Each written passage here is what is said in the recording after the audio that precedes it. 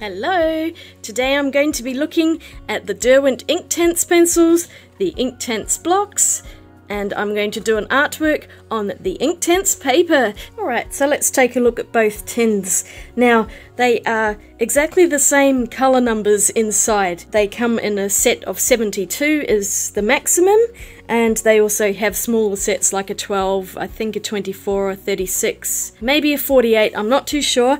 I'm going to put up some information by Derwent in the description below so you can check that out. And let's just open the tins and have a look and see what the difference is. Here we go, they're so pretty. Now, I've really only used these a tiny little bit so I still haven't pulled them out properly to look at them. I'm actually doing that today. And the pencils are in the matching colours. So let's just grab one. We'll take the first one out of here. Oh wow, this has got such a soft, waxy feel to it. It's so smooth and it's got almost slightly damp. It's kind of a really strange sensation.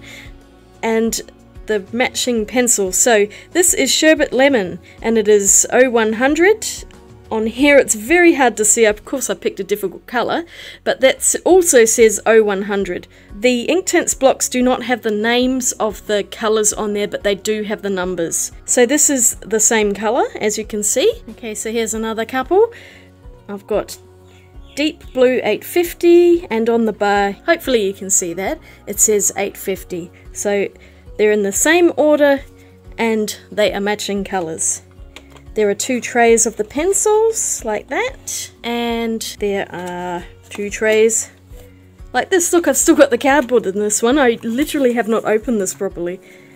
There we go. Okay, I just found something really interesting. There is one difference between these two sets. In the pencils, the 72nd one is an outliner, number 2400, and I'm assuming this is a water-soluble graphite. I've just got a bit of paper here. I've never used this. I put it in a different container and I just completely forgot it was there. But that is definitely a graphite pencil. And I'll just get some water, which I have right here. No, it's not. The pencil in here is not water soluble. There's a tiny bit that's come off, but that is not budging. So that is just a dark liner pencil. It's most odd. And so I went through all of the blocks because there is not that same number in here. It goes up to the white, and then I'm going, well, there's 72 blocks in here, so are there doubles of something? But no, I found one that is in here that is not in here, and that is 1215 which I had to actually look up because it's got no name on here. According to Jackson's Art Supplies, 1215 is turquoise, and turquoise is not in the pencil set. You've got dark aquamarine and green aquamarine, which is 1210 and 1220, these two, but in the middle is a 1215 on the blocks and it is a turquoise. And I did not know that until literally just now when I was getting confused as to why that one's got 71 plus a liner pencil and this has got 72 colours. Ah, I hope we've all learned something new here today. So what exactly are Inktense pencils and blocks? You probably already know they've been out for a very long time, but just in case you're new to these products, they're like a watercolour pencil, but they are made of solid ink instead, and it's very much like an India ink once they become wet. So it's a very interesting formulation. If you know anything about India ink, it is soluble when it's wet, but once it's dried, it becomes permanent and you cannot move it with water. And this happens with these pencils. If I just grab a piece of paper, I'll go for this bright blue here. It is called iris blue. In their solid form, they work just like a regular coloured pencil. Get a little bit of water.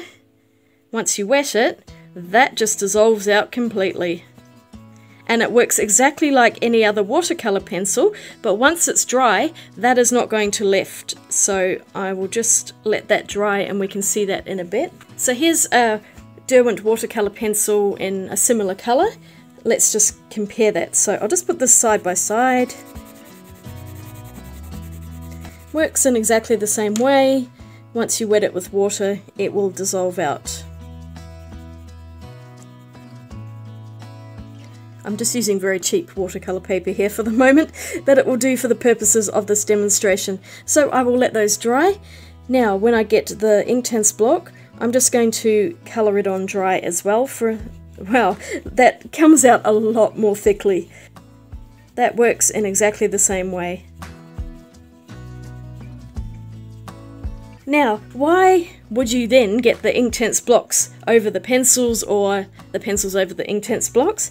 Well, really, they are designed to work together, and when you've got a block like this, they are designed to really cover a lot of area in one go. So, I mean, you could use that whole thing and colour in a large area in one hit. You could use the edge of it or the corner for something that's a little bit more detailed, but the pencils of course will give you a lot more detail than the Inktense blocks. Now other ways you can use the blocks, instead of just laying the dry colour onto the paper, because if you notice when you put down any kind of water soluble pencil, it usually does leave a tiny little bit of texture from the pencil. So with the Inktense blocks, you can actually just use them like a watercolor stick. So I could just paint straight onto the block and straight onto the paper like that and it eliminates any of that pencil texture that you get. These also create texture when they're dry as well, but they re-wet so amazingly well. They're fabulous, I really like them. So that is one way you can use the Inktense blocks and I'll just let that sit and dry. You can see that that's quite damp. When I bought the paper, I got this for free. It's called a Shave and Save and it's supposed to be designed for the Inktense blocks, I'm pretty sure. So let's just get a different colour. Oh, ah, so many to pick from. they are a little bit difficult to prize out and as you can see my fingers are getting very stained. But you can use this to just shave a little bit of powder, I'm assuming, like this somehow. I've never used this before. This is my first time. That makes a terrible sound. Alright, I've shaved a tiny bit off the edge there. I mean, this is obviously only going to hold one, but if you had a whole bunch of these pots, you could fill this with water because it does have a, an airtight lid on top. And you could actually make some ink washes or like a paint. So if I just add a tiny bit of water, I've got a spray bottle here, Let's just see. Yeah, see, I've only put a tiny bit in just for demonstration purposes, but when you mix that up, it then becomes a paint or ink-like consistency, and you can use it just like that. And depending on how much you shave into there, will be how strong or diluted the colour will be. So really great if you just want to do a wash. And you can see that the two colours there blend in really well together. So these to me feel more like India ink than they do watercolours. As you can see, this bit is dried and now that's going over the top. So once it's dried, it's not going to lift off that paper and you can layer different colours over the top of each other. So the Inktense pencils and blocks are really wonderful for layering. The pencils are much easier to use, I think just in general. I'm so used to using pencils, so for me this is a lot easier. And they're cleaner because you're not touching it. I mean, you can also do a similar thing where you touch the paintbrush to the tip of the pencil and it will paint the ink on there. So these work just as well. It's really just personal preference, but I thought I might as well get both because I found that when I was doing a larger picture with the pencils that the background just took forever and I think the Inktense blocks would be really great. You can also use the pencil wet like that, but you do have to make sure you blend that out really quickly. As you can see when you do that it leaves a lot more lines, so I tend not to use that technique myself. It's not something I'm a big fan of. Well I was talking there and I forgot to hit record so I'm just going to redo this again. Now, I just did a little demonstration where I lifted some of the watercolour pencil and the Inktense stayed the same, but I'll just do that over here. You might see a tiny bit coming off the brush, but that is because there's a little bit that's still wet. But you can see that that edge is not moving. Whereas, if I do the watercolour pencil, I can scrub that off pretty easily. So watercolour pencils are really great for lifting and Inktense pencils are really great for layering. But you can use the two together really easily. They work perfectly well because they all dissolve in water. Just do remember that these ones won't budge once they're down. and The Inktense range, they are very bright colours, they live up to their name, they're very intense colours. Not so much when they're dry, they look kind of dull, but when you add the water to them, they just explode with colour and they're absolutely stunning. They have an amazing range of these blues and purples and quite a lot of greens, not so much in the earth colour range, so if you're really into your earth colours, this is a little bit limited with the amount that they have, but for someone like me who loves really bright colours, this set is awesome. The only problem that it has is that a lot of them are not considered to be light fast, and you do need to be aware of that. If you are wanting to do an artwork that you want to sell and you're very concerned about it being highly light fast, you do need to go through and make sure you're only using the pencils that are light fast. There is a really good chart on Derwent's page which has all of this information. They all have ratings on there. They are not on the pencils. All that's on the pencil is the name and the number and the salient information about it. There's nothing else on there. But you can easily find that information online. But today I'm not even worried about that. I just want to use them all because they're just so darn pretty. Alright, I'm going to get into some swatching. Here they all are on the one page and I've also added in that extra block which is the turquoise that does not go in with the pencils. What I'll do is one side I'll put the pencil, the other side I'll put the block and then I will paint them and we will see what they look like. Okay they're all swatched out. The Inktense blocks make so much more mess than the pencils. You can see there's dust everywhere. They're very crumbly and they are so much like other pastels but my hands are filthy. This is like printer paper, it's really thin. I've not used water on it, so I have no idea what's going to happen here. It could be a total mess, but fingers crossed it's at least going to show us enough of what the colours look like. And in answer to many questions I've received, no, this book does not take water at all. What a mess. And the whole thing was a bit of a disaster, so um, here's some music.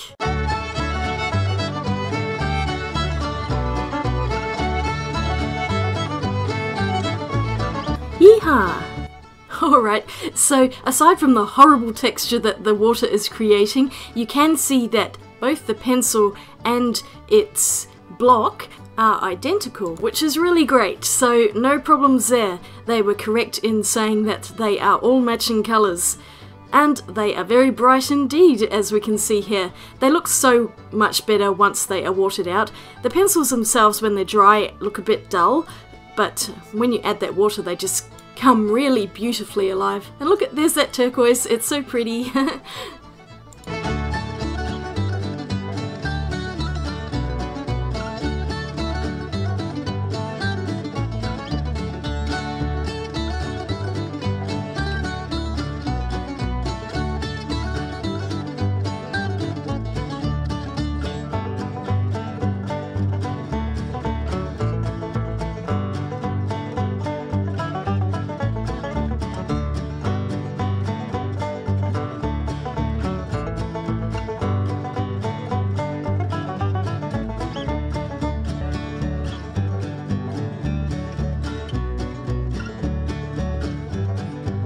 Okay, these are mostly dry. My tip is if you've ended up with this book is use as little amount of water on the brush as you can. I used the tissue here to blot the brush before I painted them and that helped a bit. But if I flip it over, you can probably see how there's indentations from the water going through and buckling that paper really severely, but thankfully the publishers of this book have been smart enough to leave a blank page on the back of the swatch page, so at least you don't have to try and swatch on the other side of the paper, which would be a total disaster. So it's not great for water-soluble media. I'm not too sure about ink, but I will have to test some of those at a future time. They are not maybe as bright as they would be on watercolour paper, but it's okay. I get an idea of what the colours look like, and it's handy having them in the book that I can just flip to the page when I'm trying to decide on colours and pick something out of here, because when the pencils are dry, they don't look the same as when they've actually been diluted, so it's really useful to have a chart to get a total idea of what the colours are going to look like. That turquoise is really pretty, and I wish that came in a pencil. I don't think it does. Let me know if it does, because I will definitely go out and see if I can find it. You can see I've got ink all under my nails here. what a mess. It's a fun colour palette. As you can see, They're all pretty much really vibrant, bright, intense colours, not really the pastel side of things. But if you wanted more pastel tones, you could use the blocks and water them down in a separate palette and create those much lighter tones of the colours. So there is a range there, it's just that you want to be doing that on a separate palette rather than doing that straight on the paper because you will get these really bright colours straight off. Okay, I'm going to do an artwork now and I've got this Inktense pad designed for Inktense pencils and the blocks and also the little palette. This is the 7x10, it's 100% cotton, it's cold pressed. This is a very rough surface. If you saw my previous video where I reviewed the paper for the Lightfast and the Inktense, you'll see how much rougher this paper is than the Lightfast paper which is a lot smoother and that's hot press. But the cold press texture is much stronger you can see I've drawn already on here. I think the paper's pretty much the same on both sides with for texture. Okay, so I'm going to get into the painting and the drawing and we'll see what I end up with. Alrighty, so I started off with the Inktense blocks and I used them like watercolour paint, so I painted onto the block and then put it in the palette and used it like that. It's so much easier. And this made for a really good underpainting because that paper is just so coarse and when you use a pencil it just leaves all sorts of white marks and it's not much fun. So this way I was able to get right into the tooth of the paper with the wet media and really this paper is designed for watercolour, it's not designed for pencils. I have come to that conclusion that I much prefer using it with a water soluble medium like this in its wet form rather than the pencils. I did use the pencils a bit later in this though to go over and make everything darker, also to get more detail because those are much easier. The blocks were very messy and acted a lot like pastels in that respect, in that I got more of it on my hands than anywhere else. So here I go in with the pencils, adding on layers, and I waited of course for that background to dry before I did this because otherwise the pencil would just stick into it and not budge as well and that would have made such a mess. But you can see the Inktense pencils are so beautifully dark and those purples and blues are just really gorgeous so I love the colours in this set. I'm just not keen on this paper. I would much rather use a hot press paper with the pencils and so I imagine that the Lightfast paper would work just as well for the Inktense pencils as it does for the Lightfast pencils. So if I was to pick more paper again, I would only choose the Lightfast. I would not get another Inktense block, mainly because there are so many other brands of cold press paper out there which work just as well and are much cheaper. The good thing about the textured paper though is it will just take layers for days. And I obviously had some restraints with time here as I need to get this video out so I could have spent a lot longer on this and done layers and layers and layers. So it does give you that ability to do so and I can't fault it there. But it just is not very nice to work on. It's such a pain and I don't like really textured things I much prefer smooth paper for pencils. But anyway, I'll let you watch the rest of this and I'll come in at the end once I finish this drawing. Or is it a painting? I guess you could say it's an inking.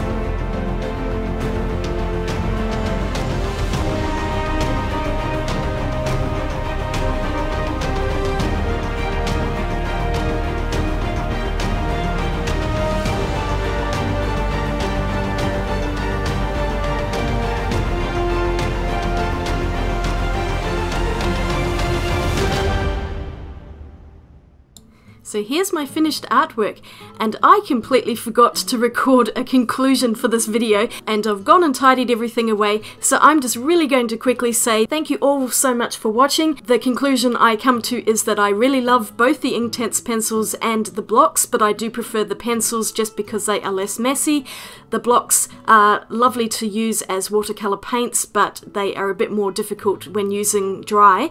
And also, the Inktense paper, while it's really, really good for wet media, it's not good for pencils. It drove me crazy and I didn't like it very much. So that is my conclusion for that. I would use it again, but it's just a bit more difficult and frustrating to use. Not great if you're impatient like I am. So don't forget to like and subscribe if you enjoyed this video and I will see you all again really soon in my next video. So watch you later. Bye!